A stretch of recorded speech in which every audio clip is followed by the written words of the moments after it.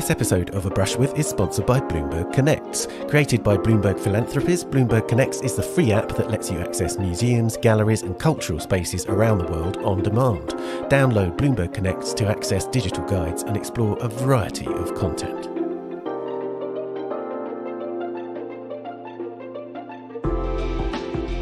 Hello, I'm Ben Luke, and welcome to a brand new series of A Brush With, the podcast where I talk to artists about their cultural experiences and influences, the artists that have inspired them, the writers and poets they read, the musicians they listen to, and the cultural encounters that have proved to be epiphanies in their lives and work. And for this first episode of Series 4, it's a brush with Michael Rakowitz.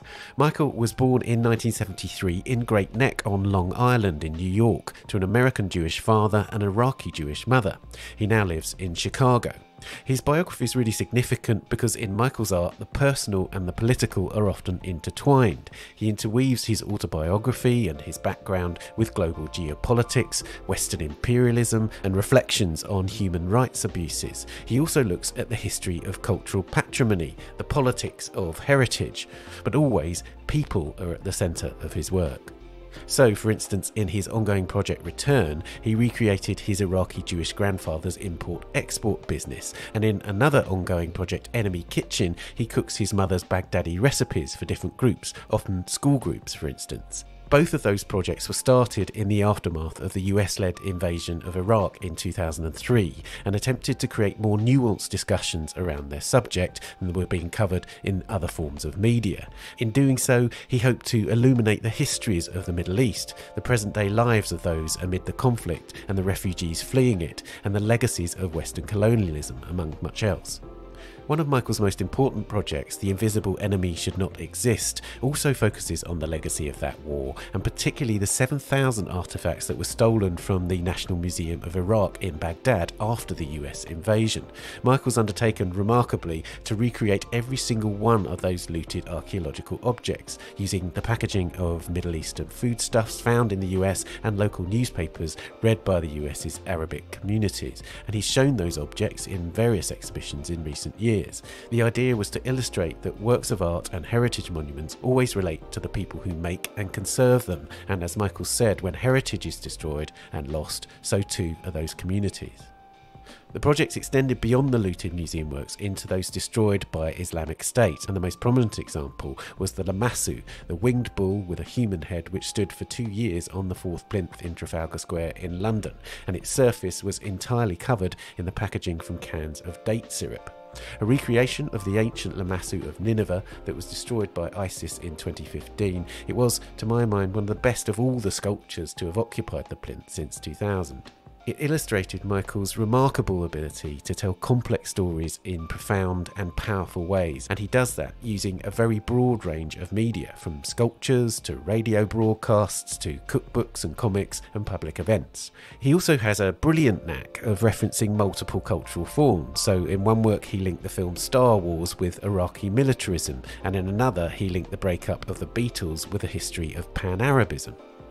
That commitment to engaging with a broad public and using popular culture is crucial to his entire body of work. Michael studied with Krzysztof Wodiczko, who in the 1980s was a pioneer of socially engaged and activist public art, and throughout Michael's built on that tradition, from his earliest architectural interventions to his most recent work, which is a public sculpture in Margate in the UK, which was unveiled in April 2021. It's called April is the Cruelest Month, quoting a line from T.S. Eliot's The Wasteland, and it depicts a British veteran of the Iraq War, Daniel Taylor, whose war medal is actually embedded in the sculpture.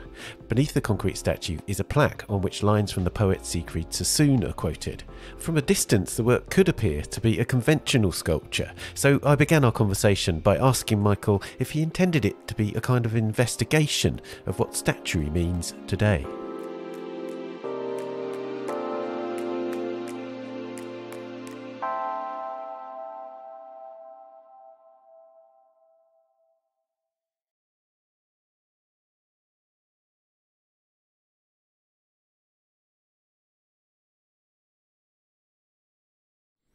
Absolutely. And there's a site specific response to it because there's already this statue that is a monument It's called the Surfboat Memorial, and it's dedicated to the oarsmen who set up these kinds of lifeboat rescues and off the coast of Margate. It actually commemorates the capsizing in 1897 of the rescue boat called Friend to All Nations, in which I believe nine rescuers had perished. And the ship that they were going to rescue was called the Persian Empire. And uh, so I immediately started to think about the coast of Margate and the coast of my mother's homeland and thinking about the city of Basra because I was on this Corniche in Margate and there were these statues on the Corniche in Basra that were actually thrown from their pedestals after the British occupied uh, in the wake of the US led invasion. And so I thought about what appears on a pedestal and what are the conditions that allow for something to stand on it, and then what are the conditions that necessitate the removal.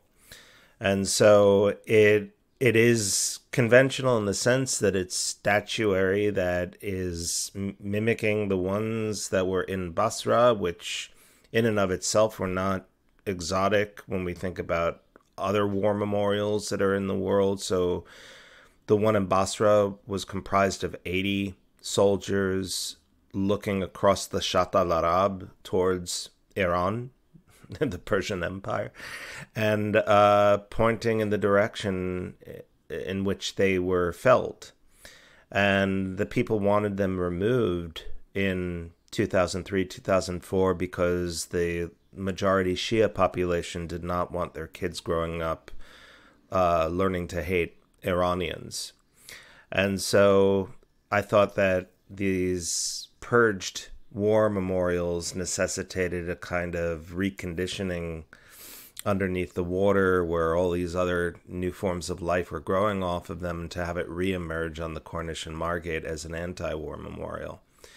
So when you're looking at this statue that is actually, you could argue it's the 81st statue in that series of 80, it is a British soldier who was stationed in Basra when those statues were coming down but instead of pointing to, across the water towards some imagined enemy, it's actually pointing inland towards Parliament, where the decision to go to war was made and where he, in some sense, fell. So we're talking about a soldier who came back, Daniel Taylor, and became somebody who was fighting for peace.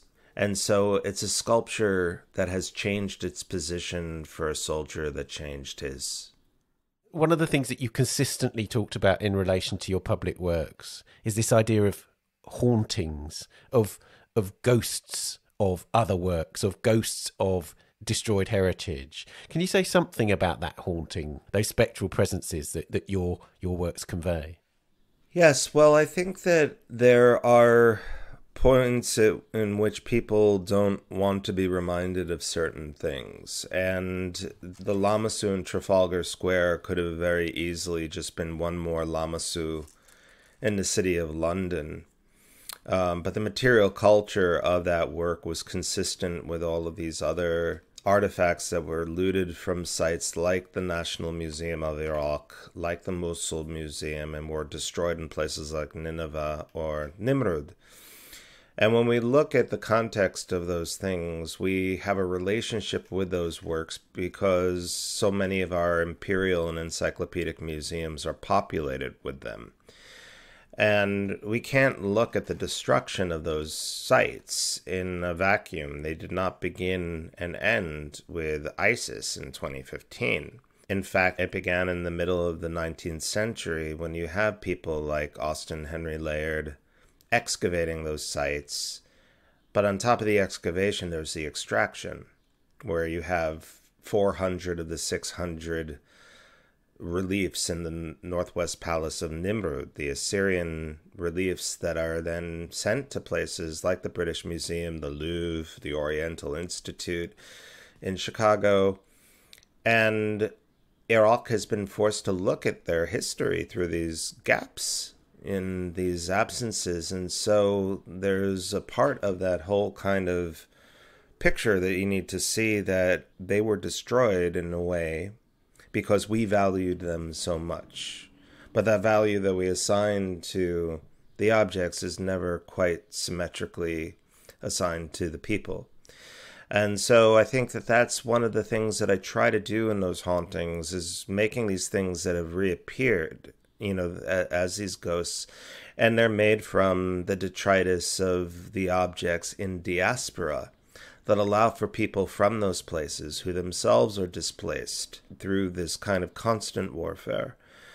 And um, and it's a an indication of survival of the fact that these these sculptures that are made in life size are made from the materials that allow for us to reappear in life size, the meals that we would have made if we were still in Mesopotamia, or the kind of family gatherings that we would have made. Um, so, so that's one of the things that that I I hope to do, that I try to do, is that in a way the material culture of this kind of urgent material of these fragments of cultural visibility that are enlisted to make these things that are invisible is meant to kind of create this ghost. And and in the case of Daniel's statue in Margate, I think that there's there's something a little bit different going on um, because it, it it didn't want a one to one kind of ratio of materiality when it came to what I've done before.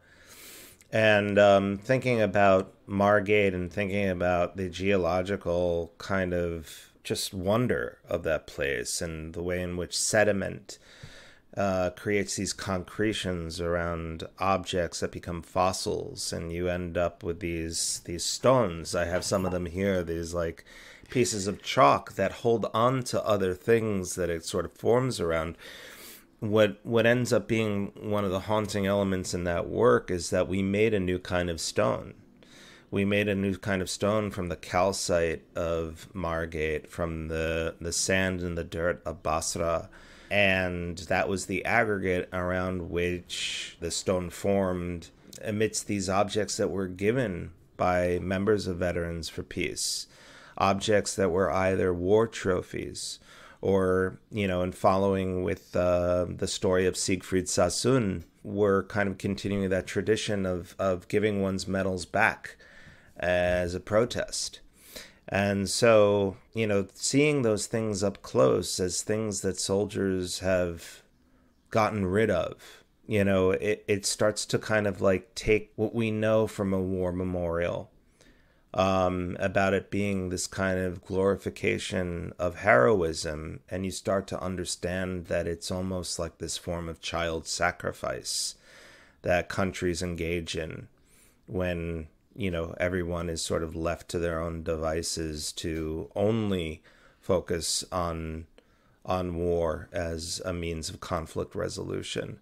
So that's one of the things that I think is there that is one of like the haunting elements to it.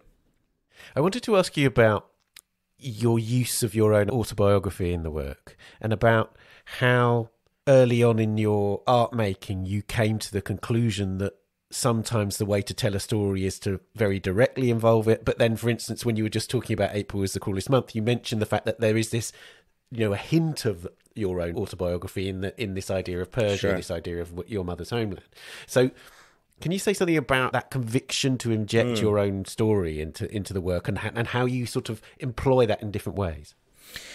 Well, I think as an artist, I'm interested in what the stakes are for me in making work. I think that I've approached many different contexts and manners that, you know, diversify the means of articulation when it comes to the aesthetics or the material. But I think for me, you know, one of the the elements that that I end up delighting in is like realizing that those connections happen. And one of the things that I really am interested in in the siting of the work in Margate is that it's next to that surfboat memorial. So you have these two figures that are both life size, or not larger than life, in conversation with one another. One is pointing out towards sea or looking out towards sea, and the other one is looking inland uh, with its back to the sea. But then the next site that is on that piece of coast is the Nayland Rock uh, shelter. And this is the site where T.S. Eliot was convalescing. You know, he was convalescing in Margate. And so it's the site at which he started to begin to write The Wasteland. And in that poem, he writes, On Margate sands, I can connect nothing to nothing. And I felt like I could connect everything to everything, you know. And, and if I think about that surfboat figure looking out towards sea in 1897, I know that that same kind of looking out towards sea is not about rescuing people, but about turning them away. And so that for me became one of the things to really focus on when it comes to positionality. And so I recognize that the coast is a place where you have an intersection of hospitality and hostility, which come from the same root word. And it's a rough edge.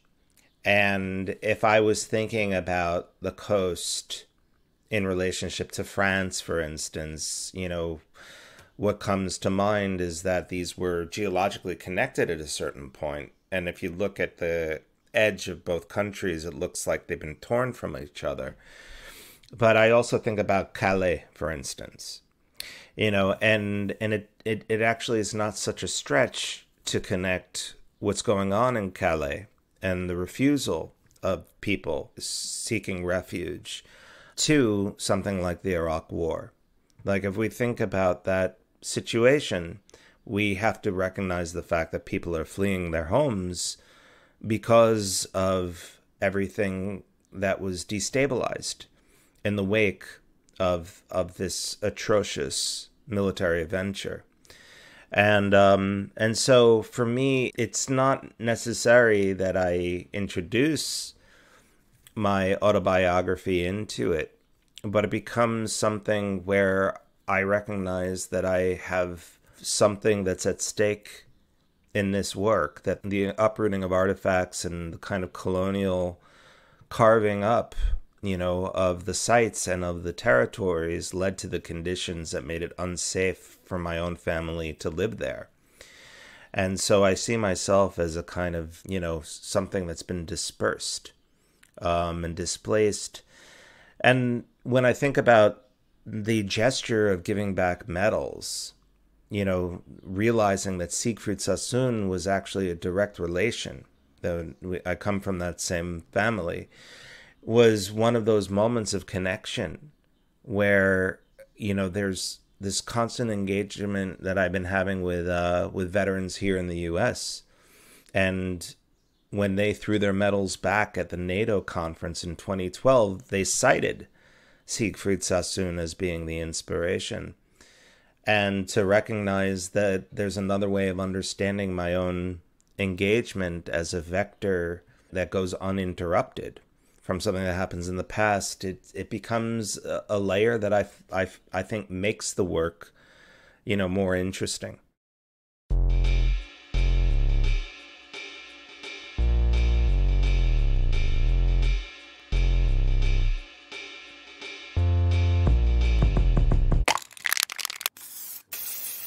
Let's turn to the questions that we ask all our guests now. So, uh, who was the first artist whose work you loved? Well, this is going to be a really boring answer, you know, because I think that the deep dive that I took into Michelangelo's um, history was something that really kind of made me aware that um, this was somebody who I wanted to know more and more and more about. And, you know, it really kind of came into a different level of admiration after uh, being taught how to stone carve. You know, so before that, my dad's parents, um, I remember, had uh, you know little figurines of the David. You know, and and my grandmother on my dad's side was an artist. Uh, she was a calligrapher by trade, and you know she would explain and narrate a little bit to me what our relationship was to David, you know, as Jews, but but also talking about just the the story of how it was carved, which I knew about in more detail once I read like Vasari, and also you know even books like The Agony and the Ecstasy. um, which are based on Vasari's writing. My introduction to his statuary was also through you know looking at the um, the statue of Moses. There's a belief that it was damaged, you know, that there were these rays of light that were coming from his forehead, but when it apparently broke, they ended up looking like horns. And so this is one of the reasons why you have that anti-Semitic stereotype about Jews having horns.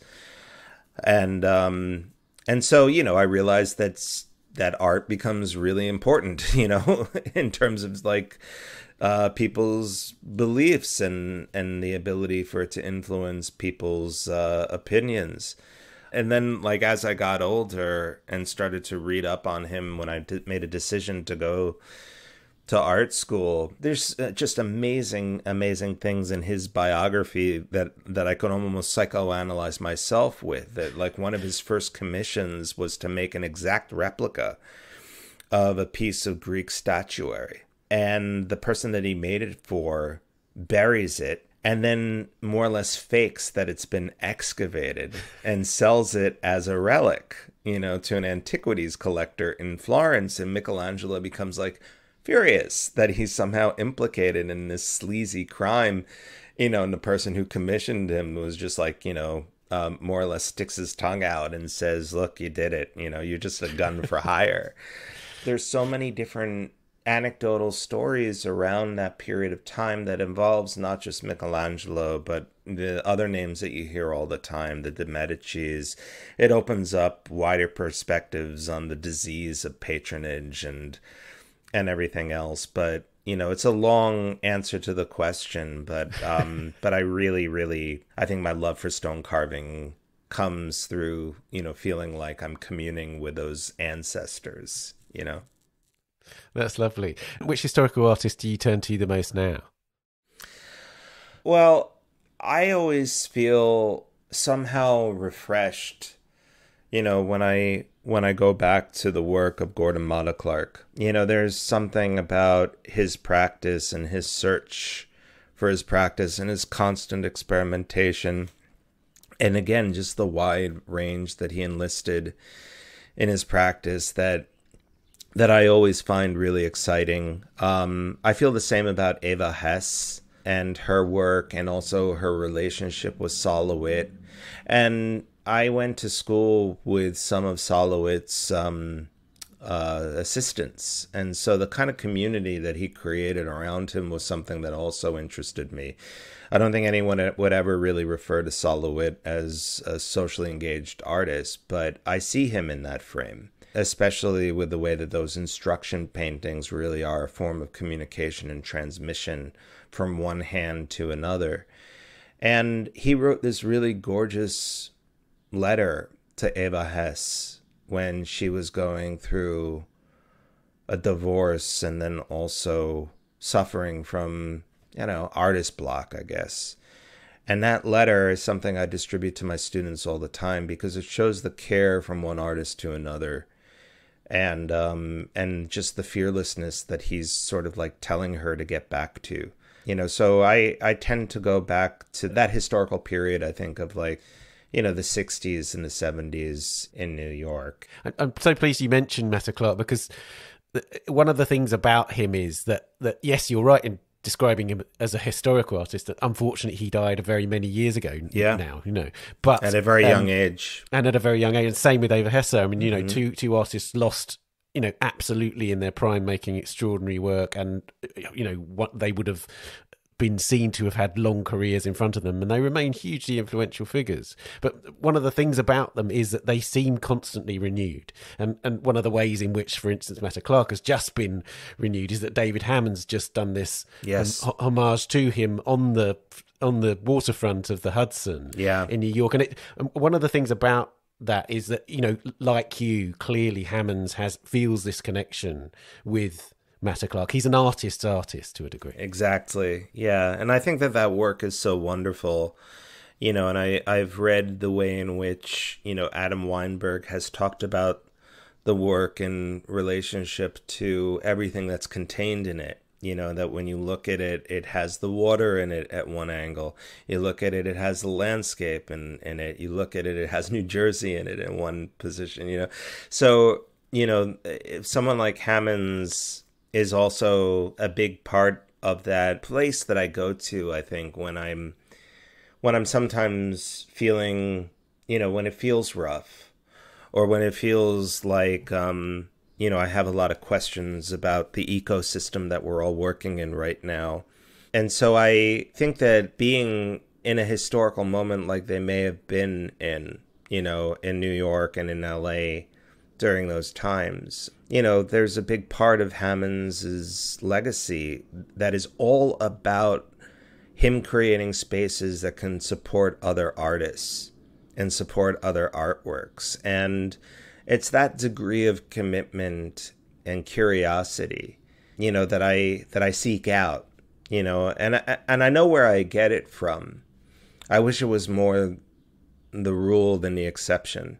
And so I, I think that that entire scene, and Joan Jonas, who I studied with, uh, was also very much a part of that. And I felt very grateful for, you know, just how candid she was about those relationships and about like the different loft you know exhibitions and viewing parties and performances that were part of that ecosystem and you realize that it's the bankruptcy of a city like New York that creates those conditions where people can do what they're doing.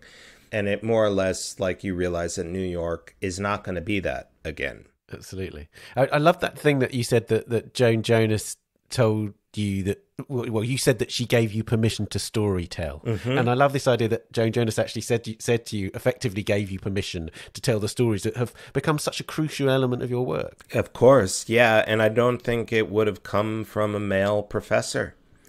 You know i do think that again coming back to what we were talking about before with autobiography you know somehow being in there that i was taught by a, a minimalist uh, sculptor in in undergrad, and the idea of of having content in the work was something that was seen as a crutch.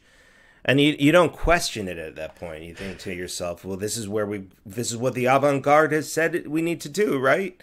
You know, but then then you realize, holy shit, that that's incredibly violent. You know, to get rid of all that stuff there's room for all of it. There's room for minimalism, you know. But the one thing that I hated and I continue to hate in in you know the, the kind of more theoretical and critical spheres that that happen around art is you know this this declaration you know that things need to be a certain way you know in order, order for them to be effective and and I think that Joan allowed for all of us that studied with her to just really kind of to have permission to storytell but to also do weird things to fail you know? Like i didn't read beckett before i met joan jonas you know?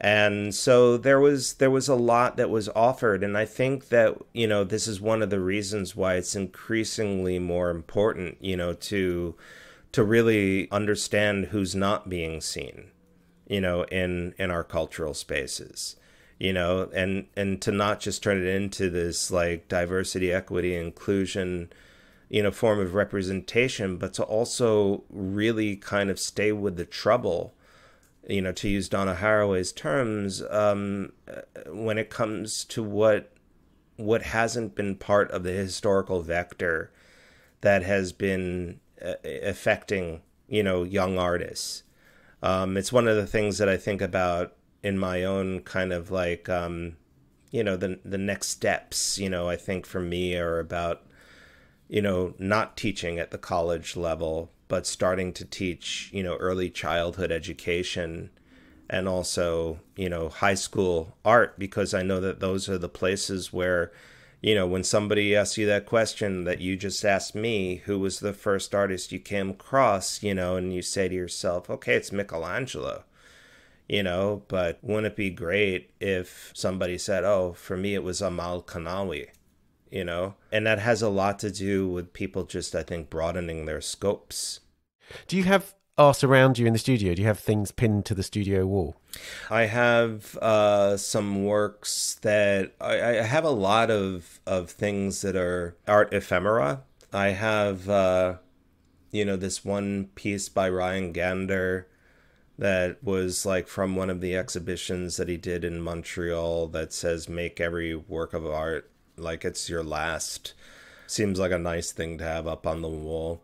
I have the piece that um, Rene Gabri and Ayreen Anastas um, did in the Sharjah Biennial in 2007. That was um, a project where they had uh, gone around and spent time with the different workers, and uh, they ended up recording them singing. I find that work to be incredibly inspiring, so that's up on my wall.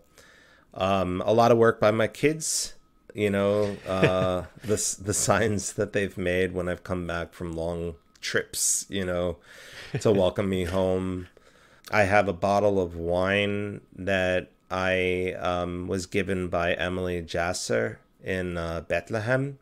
Um, that's called the Grapes of Wrath, and uh, the story of that that wine is that the um, the grapes come from a vine uh, that was paved over by the Israeli occupation forces. And the vine eventually breaks through the concrete and starts to grow its grapes again. So it's made with um, it's made with those grapes. Yeah, and then there's a, a chalkboard that I have um, that's up in the space. That's actually the remnant of a conversation that I had with the curator, uh, Stephanie Smith, um, who was planning an exhibition with me that actually never happened. And we mapped out everything. You know, it like connected projects to projects and and you know, it was almost like a psychoanalysis of why certain projects were really pivotal. You know, so for instance, Parasite, the shelters that I make every win- winter was a, a project that what Joan said was crucial that I had permission to storytell. You know, so that little bit of information is is written up there. Parasite was this epiphany that came to you. It was, it, you know, you had been working in that territory. You'd studied with Krzysztof Wodiczko, so you were conscious of this idea, this kind of a kind of social activism through art. Yes. And then, but it, but it was, it was a kind of a, an epiphany on the street, right? You literally saw a homeless person who was sheltering beneath an air vent, which was keeping him warm. Mm. And it was a person that was made invisible by society. You know, that you could see a moment of urgency like that and not see it. And the warm air that was leaving the building that was keeping this person warm for the night was also invisible. And immediately in my mind, I did this constellation of how the materiality could work, you know, of using rubbish bags and weatherproof proof plastic tape to capture that wind that was coming from a building's service system and create the conditions where this unhoused person could exist inside something that gained its structural sustenance from the air that was leaving the building, but also the thermal conditions that would keep somebody from freezing to death. And so it was a work that came out of my just having returned from Jordan, where I was studying the tents and the equipment of the Bedouin, and that learning that those tents were set up differently every night depending on the wind patterns that move through the desert, and that this was another kind of a wind, and this was another kind of nomadism, not one that was by tradition uh, when it comes to the nomads of the desert, but somebody who was an urban nomad uh, or a refugee. And being in Jordan and understanding Jordan also as a refugee country, and realizing that I was being led to look at these Bedouin sites, but being forbidden to visit the Palestinian refugee camps. That immediately set up for me the ways in which we have these same conditions in urban America. And it's not such an invisible line that connects the situation on the street here with what's happening in Palestine or in any other place where people have been displaced. So Krzysztof was amazing to work with as a mentor, and you know I have to be very blunt and say that I that April is the cruelest month is very much about studying with him and also learning from him about monuments, and that monuments are mostly invisible. That monuments cease to speak to their public after a while, and you have that famous Robert Musil quote that there is nothing more invisible than a monument, but Krzysztof has always made them visible, you know, and he's done them in these ways that are critical and makes the monuments tremble in some way. And so it really was important for me to be able to work with him because his interrogation of form was also interrogation of language. And after the monument went up in Margate, you know, which I also call an anti-war memorial, you realize that monument comes from the word monere in Latin, which means to warn. And you have words like demonstrate that come from that word and remonstrate to show somebody the error of their ways. But the word monster also comes from it. And the monsters were believed to have been sent down from the heavens to warn humanity. And so when I think about my own kind of relationship to monuments, you know, I don't want them to not be antagonistic. I want them to be critical, though. And so those interventions that Krzysztof made, it was crucial for me to see them in the mid 1990s because I had just witnessed all the toppling of the Eastern European monuments, you know, five or six years before. And here was this person that came from that very place who was finding another way, critically re examining them. So you know, his work in making the first homeless vehicle in the 1980s, 10 years before I did Parasite. Again, I'm not doing any of that work without without the relationship and the kind of spark, you know, that he kind of created in in his teaching of me and and everybody who he's encountered. He's the best teacher I've ever had.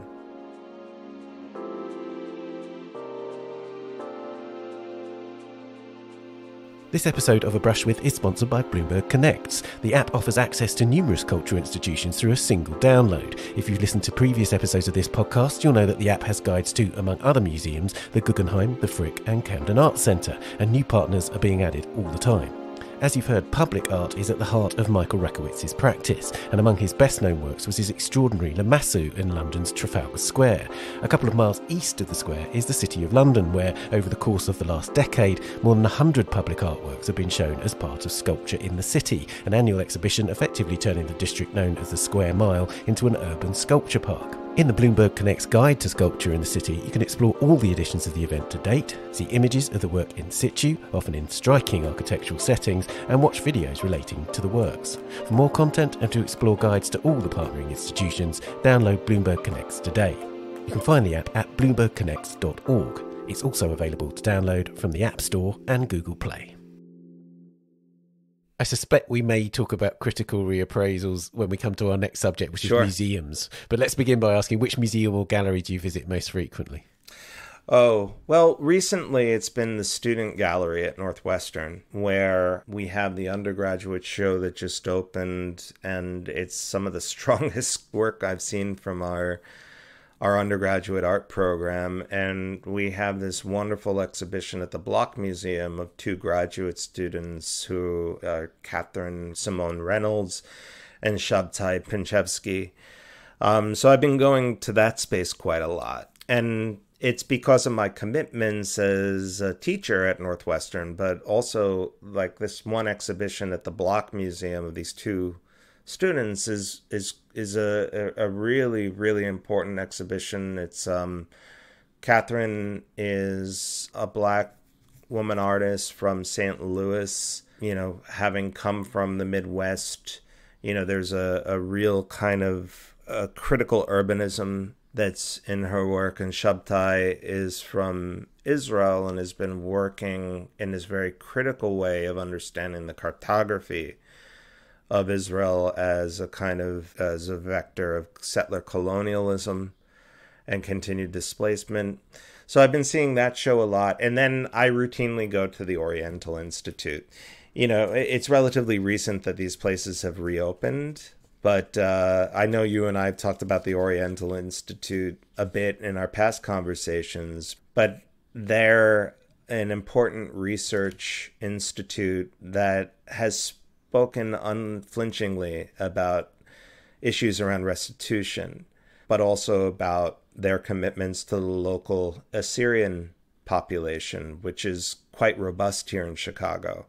And so when you're in that space at, for instance, the Assyrian Aid Society's annual dinners, you know, you're looking at the descendants of the the people that that populated those cities like Nimrud and Nineveh, uh, who can no longer be home, who are there with these objects that are more than just objects, that they actually are relics that are imbued with a certain kind of spirit or energy that allows for them to to have portals, you know, back home.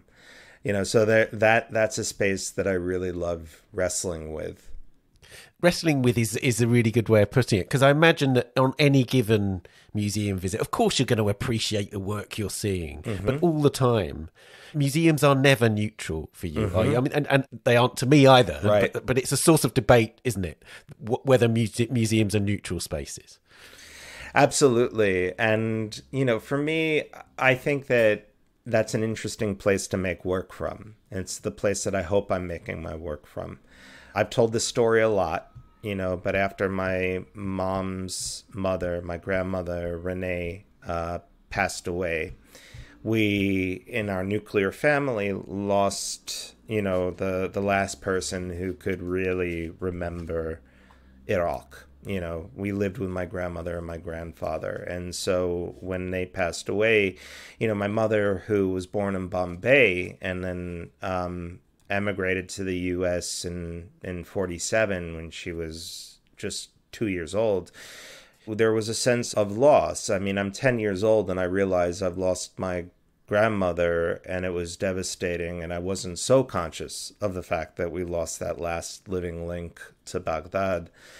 But one of the things that happened, you know, we had this trip that was planned for London to visit my uncle Niazi and my auntie Tifa and my uncle Niazi was my grandmother's brother. And there was something that felt like the healthiness of a wake or something, you know, where we were with somebody that sounded like my grandmother in terms of the accent uh, with which he spoke English and, you know, could tell stories about her.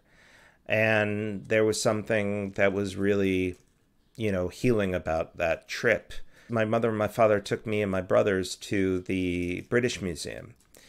And my mother immediately did a beeline once we got through, you know, the ticket teller, and we ended up in the Assyrian galleries. And so she was showing us the lion hunt of Ashurbanipal.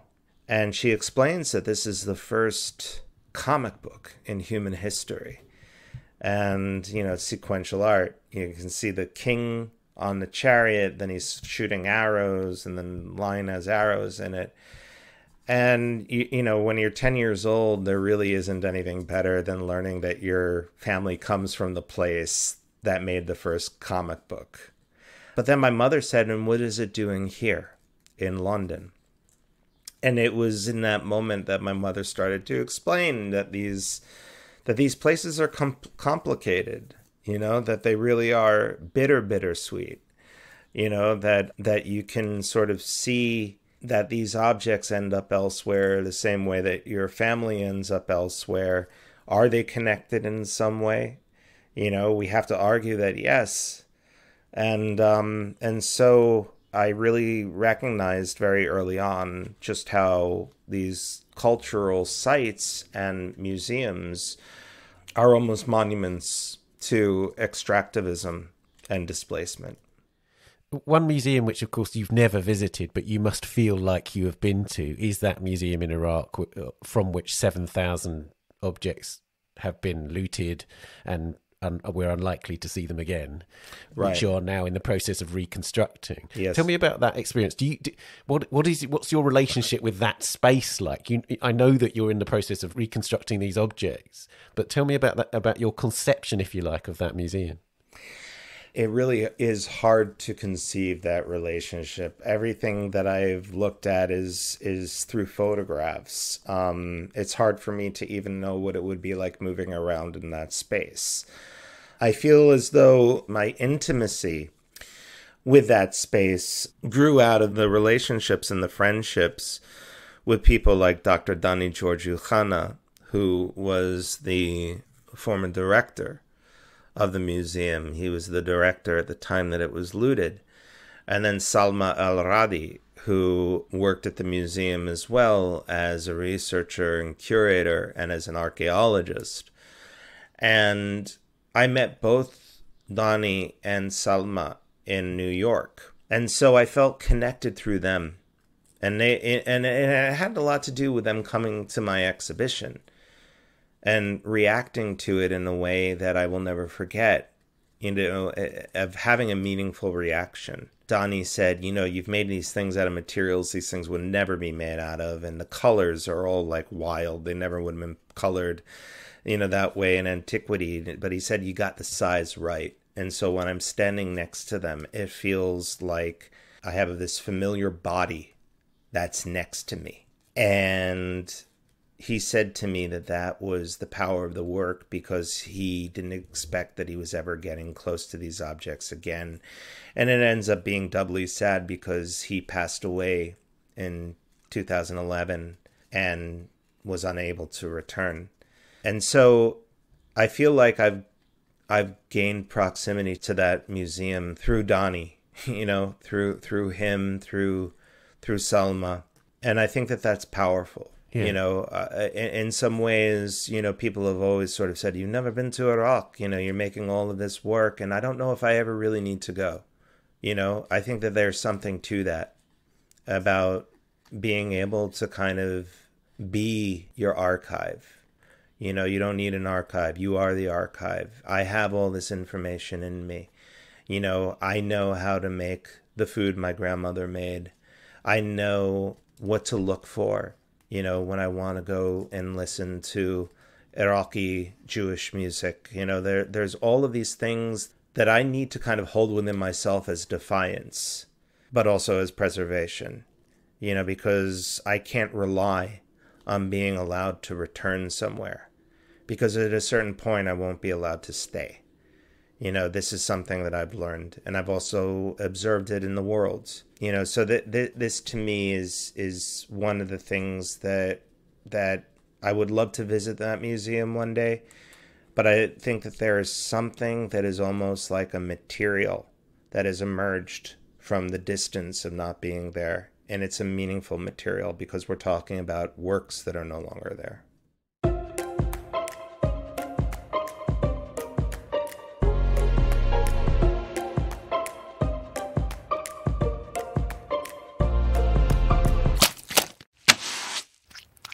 Let's talk about literature. We've already begun to hint at literature. Yeah. But which writers or poets do you return to? Well, I have a really dear friend named M. Carmen Lane who is a two spirit black and Haudenosaunee um, artist in Cleveland, Ohio, who's quickly become one of my favorite artists in the world. And they um, they write poetry, uh, and I've been constantly returning to their work and reading it. I also read a lot of Iraqi poets like Dunya Mikhail, um, Sargon Boulus, who was an Assyrian Iraqi poet uh, who passed away, I believe, in 2007. And I, I'm constantly returning to the writings of somebody who I consider family and also a really important mentor, Ella Shohat. I just finished doing a work that was very much based on her essay called The Invention of Judeo Arabic, which centers around you know these prayer books that have always been mysterious to me these prayer books that i'm holding up for you right now on camera that come from the jewish community of baghdad um, and i've been collecting them. My grandfather also had them um, when he left iraq. You had one rebound as part of a project exactly yeah in turin. You know some of these uh, these books that I get are in really bad condition, and in the Jewish religion, there's a repository called the Geniza that's usually part of a synagogue where you bring these damaged Torah scrolls and prayer books, and because they have the name of God written, you're supposed to bury it. You know, but I've always looked to find ways of restoring it and um, and so in Turin, where there's uh, the Cerruti Foundation, that's part of the Castello di Rivoli, he introduced perfect binding to Italy, um, and so his fortune came from making the telephone books in Italy, and his best friend was this guy named Luciano Fagnola, who was basically this imperfect binder. He did all this work by hand, and so I had Luciano um, actually fix this uh, prayer book. But what's interesting about these prayer books is that there's this purported thing called Judeo Arabic, which follows in this idea that there must have been something like Yiddish for the Jews in Arab countries. But in fact, it's a lot more interesting than that, you know, and it's and it isn't quite that. And this shows like the fact that it wasn't partitioned from Arabic, that in fact a lot of these prayer books are actually Arabic but in Hebrew letters and it actually points to the fact that the um, the synagogue, in in a lot of ways, was the kind of space of education for people. You know that not everybody had access to schools. You know, and so in order to read Arabic, they would read it but transliterated basically through Hebrew letters. And and I love this. You know, you see the word Allah written in Hebrew letters, and and it becomes this this very clear artifact of of a sense of belonging. You know that even in the midst of everything that we talk about, with yes, Jews were second class citizens in many of these societies, there was still a sense of belonging. You know, and those are the things that I'm interested in unpacking. You know, even in the midst of the pain, you know, of being dispossessed there are these moments where you realize that the term Arab and Jew are entwined, you know, very much so in my family and Ella's family. You know, I look at these things not as a nostalgia, you know, not as just an artifact, but as something that's been interrupted, you know, and could it ever be again? You know, so Ella's work has been really important for me in that sense. So I've, I've been reading a lot of her essays recently, stuff that I've read before, but going back to it you know, in the midst of the horror and the atrocity that was visited upon Gaza and the Palestinian people in the last month, her essays were kind of like what got me through it because you realize that there are other things that people are not talking about, that, that this isn't some kind of like millennia old blood feud. You know, that there's a lot of bullshit behind that theory. And there's a lot to bring to light that shows ways in which in which people can move forward.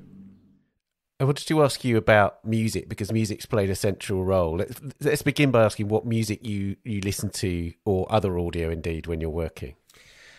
I've actually been listening to a lot of Armenian duduk music recently. I love the sound of the duduk, uh, and I started listening to it as once again the Armenian people have been facing just these atrocities from the Azerbaijani government. But I've always loved the sound of the duduk. I listen a lot to uh, Daoud and Salah Kuwaiti, who were these two Iraqi Jewish musicians that, uh, you know, similar to what I was talking about with Ella and her essays, the involvement of Iraqi Jewish musicians in the modern Iraqi music scene at the turn of the century had a lot to do with the fact that there was just a large number of Iraqi Jewish musicians. Some of it was because there was a Jewish school for for the blind, Uh, and so those students would end up learning kanun and oud and all these other instruments as a way of, of, of heightening other senses. And, um, and so I've been listening to that a lot, um, Iraqi Jewish music a lot. And then I'm part of a record club that actually meets every Thursday night that my friend Steve Hutton organized. Uh, it used to be in person, but then when we went into lockdown, it became virtual.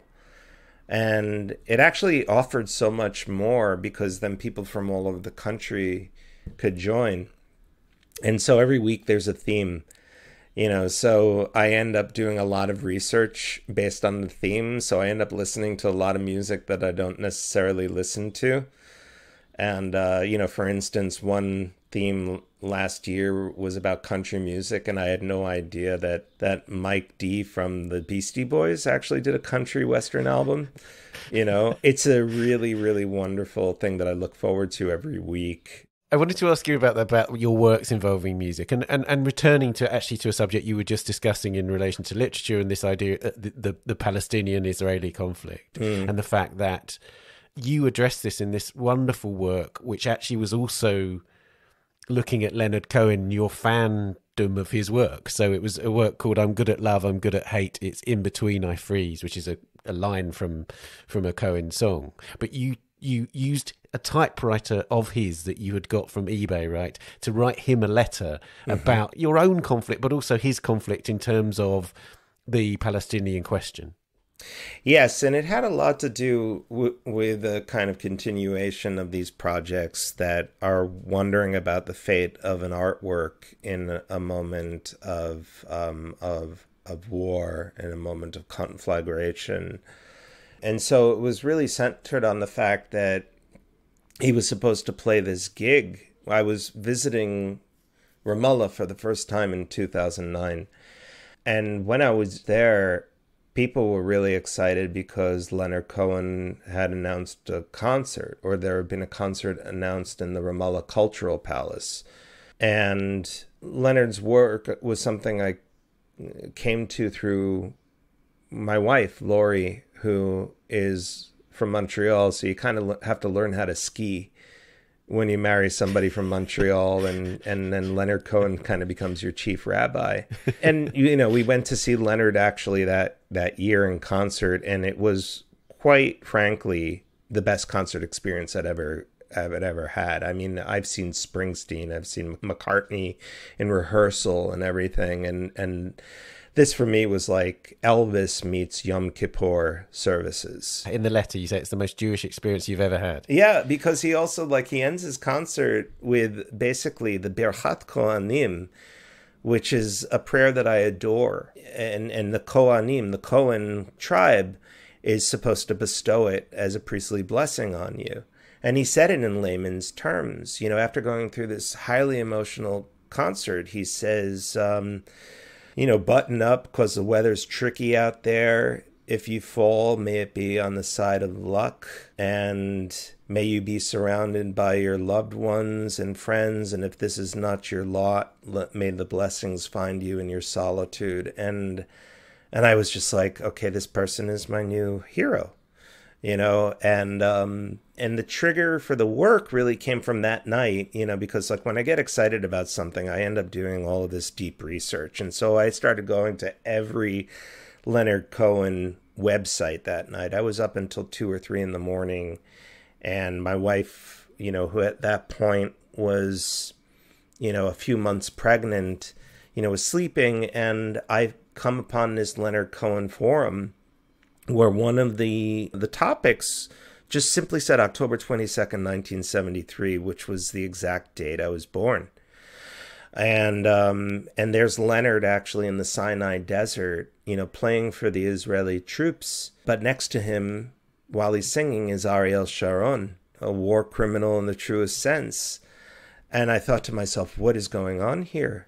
And so it became this really interesting moment. You mentioned that museums are not neutral, but like we as artists are also not. And so I started to, you know, wonder what he was doing there. And like most Jews in 1973, he he he thought that the Yom Kippur War uh, signaled um, an existential threat And in his diaries, he talked about how, you know, before that, he was firmly on the side of the Palestinians, but then he needed to go to Israel to, quote, stop Egypt's bullet, knowing that the military uh, operation was being led by, by Egypt. And so I started to kind of look at that whole history, which he writes in his manuscript called My Final Revision of My Life in Art. And he talks about everything that he's feeling on the battlefield, all of the conflict that he feels in him, of the discomfort that he feels when he's looking at these body bags uh, across the Suez. And the person who's the commander of that part of the base says, um, you know, don't don't cry. They're they're only Egyptians. And and Leonard feels this discomfort and his sense of relief. You know, for me, this is an articulation of the ethical crisis of the post Holocaust Jew. And so it became a really interesting point to make work from. The other thing that that really kind of inspired this piece was that that concert in Ramallah had been planned by Leonard's management because he had already planned a concert in Tel Aviv. And so, to mitigate criticism that he was playing Israel, they more or less made this gig in Palestine. And so, at that point, the Palestinian academic and cultural boycott of Israel found out about it and explained, you know, rightfully that these attempts at parody are part of the problem, that you cannot equate the oppressor with the oppressed you know, you started your question by saying something about the Palestinian Israeli conflict. It's not a conflict. A conflict supposes symmetry. You know, Israel is this world class army with technology, and we're talking about Gaza, which is an open air prison. Some have equated it to a concentration camp. So, this is Israeli settler colonialism and its violence that's being visited on the people. And so, what, what became very important to me in this work was to look at Leonard's dilemma and to realize that this okay so this concert ends up getting canceled in Palestine. He goes through with the Tel Aviv concert. But I thought to myself he has this huge following in Palestine. He has a huge following in Syria in Lebanon. You know his writing his poetry is incredibly important in these places.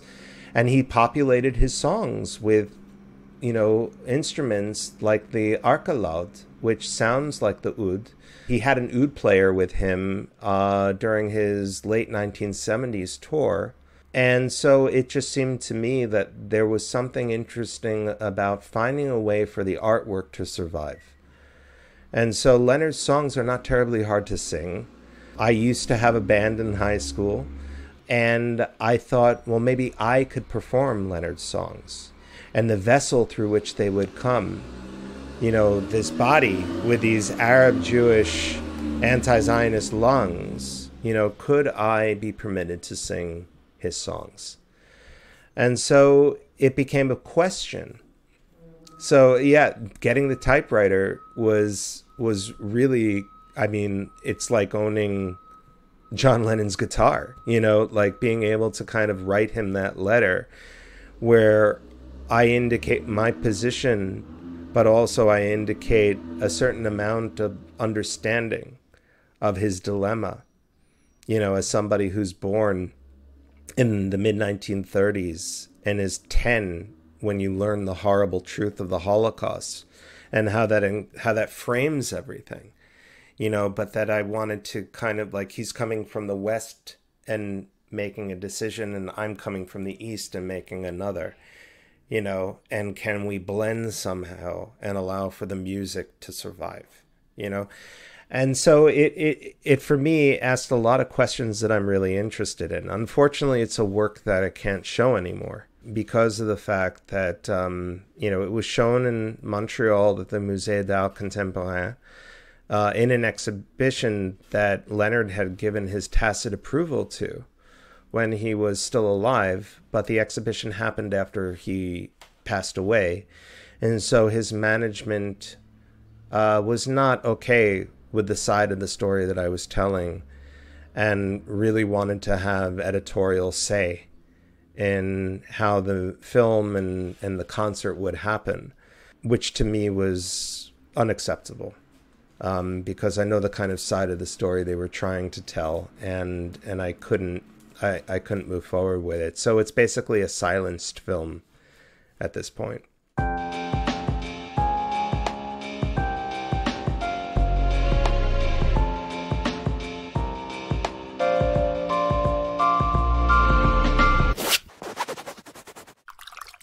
If you could live with one work of art, what would it be? One of the works that really changed my life was Emily Jacir's Where We Come From, which is this series of photos that document this question that she asked of the Palestinian population around the world that if I could do one thing for you in Palestine, what would it be? And the things that they ask her to do, you know, go go kiss my mother, go sign the memorial book uh, for Faisal al Husseini, go to Jaffa and to and play with the first young person you see, go to East Jerusalem and and go on a date with this woman that I've been chatting to online, uh, but I can't get there because I can't get the visa, you know, to go from the West Bank uh, area a you know to to uh, Jerusalem. You know th- those those works for me in their humbleness, but also just how big they are. You know, really kind of bring to to the fore. You know what art can do. You know, in the way that surrogacy in art you know can happen and it's an interesting thing because you know i've been thinking a lot about like when i talk about the a project in in Margate, you know, I talk about my works as surrogates and substitutes. Uh, and the word substitute actually comes from the Latin substituere, which comes from statuere, and the noun derivative of statuere is statua or statue. You know, so this seems relevant to me as somebody who's a sculptor and thinking about what art can be. You know, so art being able to be that that place that we haven't gotten to yet, you know, activated through the magic of a kind of impact that's visited on form, you know, really inspires me. So I would want to live with something like that. I learn from that work all the time. In a way, you've just answered my final question, which is what is art for? Well, there you go. You know, and you know, and it comes from you know this very close and deliberate attention that I've been paying to a lot of those things that were stolen from the museum that one of the more popular items that that went missing were votive sculptures. You know, those sculptures of the people with their hands clasped up against their chest, looking like they're in prayer. Well, in fact, they are. And the idea was that the worshiper would go to the Akitu or the temple and they would bring that statue with them and it would be a stand-in for them. So they would go and pray at the at the temple. But the idea was that you would leave that in your place. So it was always praying for you and you would always be receiving the blessings. That's a great way to end the conversation. Michael, thank you so much. Thank you. I really appreciate it.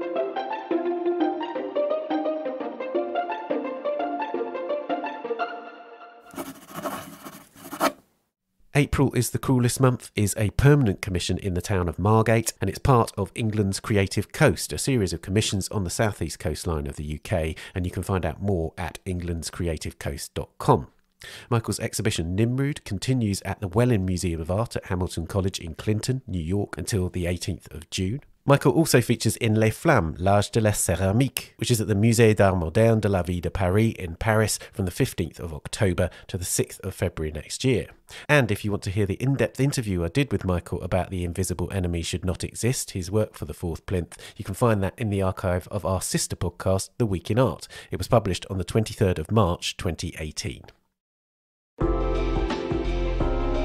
And that's it for this episode. Please subscribe to A Brush With wherever you're listening and do give us a rating or review on Apple Podcasts. And do also subscribe to The Week in Art, a deep dive into the latest big art world stories, the top shows, and the key issues every Friday. We're on Twitter at Tan Audio and on Facebook and Instagram, of course. Production, editing, and sound design on A Brush With are by David Clack, and the producers of the Art Newspaper podcasts are Julia Michalska and Amy Dawson. Thanks to Henrietta Bentel, Danielle Hathaway, and Kabir Jhala. Huge thanks to Michael Rakowitz. Join us on Friday for the Week in Art, and we'll be back next Wednesday for the next episode of A Brush With. Bye for now.